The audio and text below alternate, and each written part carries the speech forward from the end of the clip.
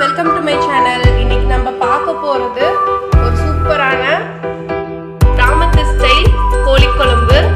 வீட்டிலே வந்து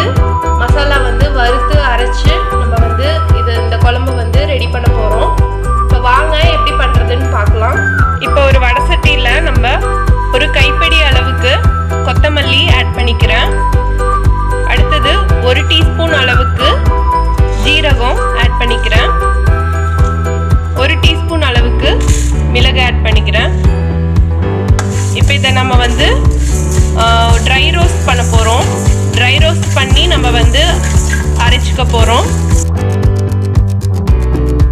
அந்த கொத்தமல்லியோட கலர் வந்து சேஞ்ச் ஆகுது. அதே மாதிரி அதுலேருந்து நல்ல ஸ்மெல் வருது. இந்த டைமில் வந்து நம்ம அடுப்பை ஆஃப் பண்ணிட்டு நம்ம வந்து இறக்கிடலாம். இதை வந்து ஆற வச்சுட்டு நம்ம வந்து பொடி பண்ணிக்கலாம். இப்போ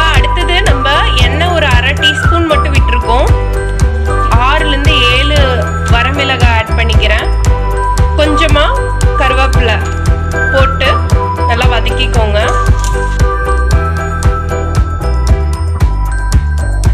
ஓரளவுக்கு வறுபட்டதுக்கு அப்புறம் நம்ம இதை தனியாக எடுத்து வச்சுக்க போகிறோம் இப்போ வந்து மல்லி சீரகம் மிளகு வரமிளகா கருவேப்பிலை. இப்போ இந்த அஞ்சையும் நல்லா வறுத்தெடுத்தாச்சு. இதை வந்து ஆறுனதுக்கு அப்புறம் நம்ம வந்து அரைச்சிக்க போகிறோம்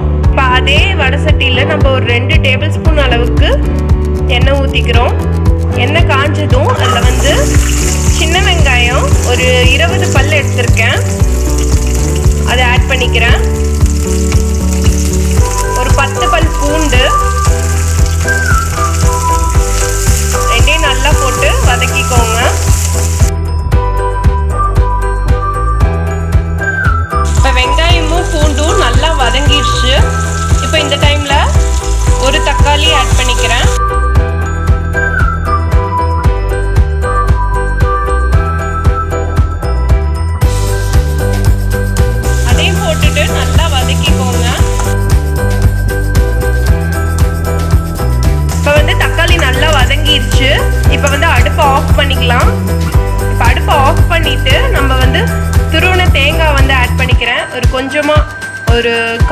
கப் அளவுக்கு நான் எடுத்திருக்கேன்.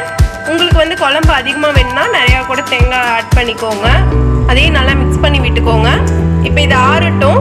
இப்போ ஆறுறதுக்குள்ளே நம்ம இது நம்ம வறுத்து வச்சுருந்தோம்ல இதை வந்து நம்ம பொடி பண்ணிக்கலாம். இது இதுவும் இப்போ ஆறிடுச்சு இது கூட ஒரு பட்டை ஆட் பண்ணிக்க போகிறேன்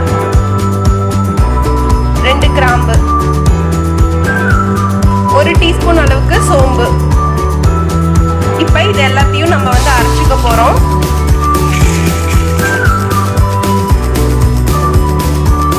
இப்போ பாருங்க நல்லா பொடி பண்ணியாச்சு. அவ்வளோ சூப்பராக ஸ்மெல் அடிக்குது. இப்போ அரைச்சு நம்ம பொடி கூடவே வதக்கி வச்சிருந்த அந்த தக்காளி வெங்காயம் பூண்டு அதையும் நம்ம வந்து ஆட் பண்ணிக்கிட்டோம். இப்போ வந்து இது எல்லாத்தையும் சேர்ந்து நம்ம வந்து லைட்டாக தண்ணி ஊற்றி நல்லா பேஸ்ட் மாதிரியே அரைச்சிக்க போகிறோம் இப்போ வந்து நல்லா பேஸ்ட்டு வந்து நைஸாக அரைச்சி எடுத்துட்டேன். இப்போ குழம்பு பண்ண போகலாம்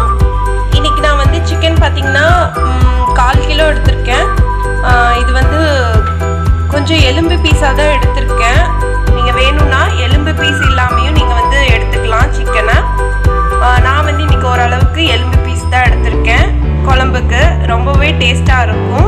இப்போ குழம்பு பண்ண போகலாம் இப்போ வந்து ரெண்டு டேபிள் ஸ்பூன் அளவுக்கு எண்ணெய் ஊற்றிக்கிறேன் இன்றைக்கி வந்து மண் சட்டியில் தான் செய்ய போகிறேன் எண்ணெய் காஞ்சதும் கருவேப்பிலை ரெண்டு பச்சை மிளகாய் ஆட் பண்ணிக்கிறேன். சின்ன வெங்காயம் ஒரு பத்து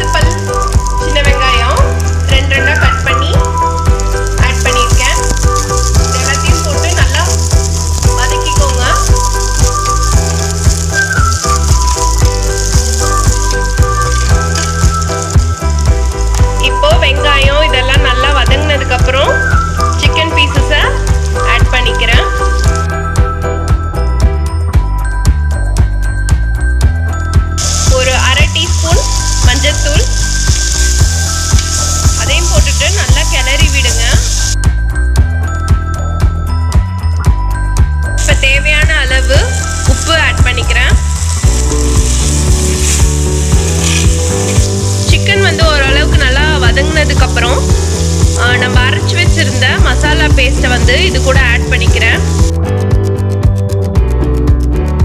இப்போ மசாலா பேஸ்ட் ஆட் பண்ணிவிட்டு தேவையான அளவு தண்ணி ஊற்றி நல்லா வேக வைக்கணும்.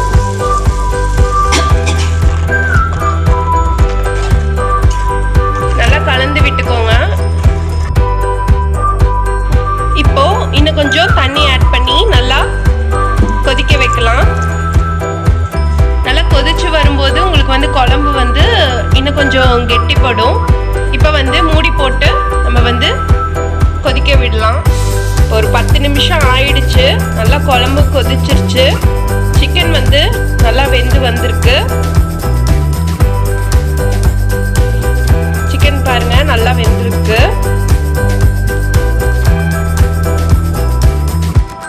இப்போ நம்ம மல்லித்தலை போட்டு இறக்கிடலாம். அவ்வளவுதான். சூப்பரான காரசாரமான